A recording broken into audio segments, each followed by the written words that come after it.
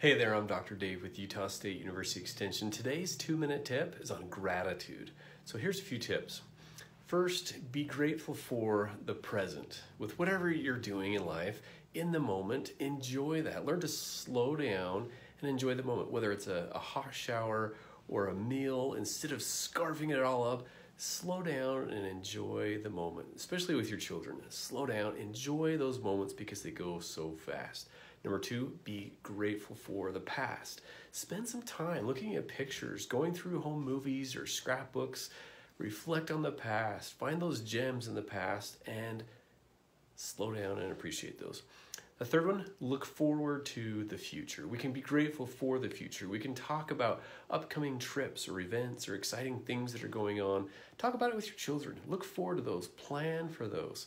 So be grateful for the present, be grateful for the past, look forward to the future. A couple more tips for you.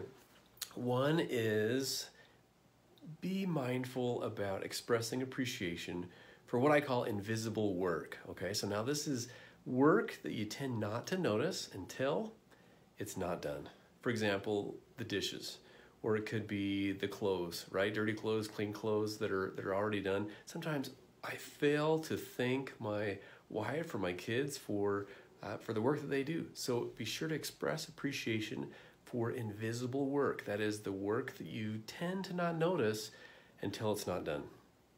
And finally, I want to share one of my favorite apps on gratitude. It's called the Five Minute Journal. The Five Minute Journal. Now, it costs $4.99, but it's well worth it, I promise. So I use it every single day.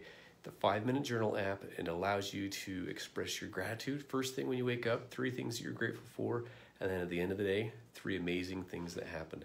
So that's all for now. I'm Dr. Dave with Utah State, sharing tips to make life great.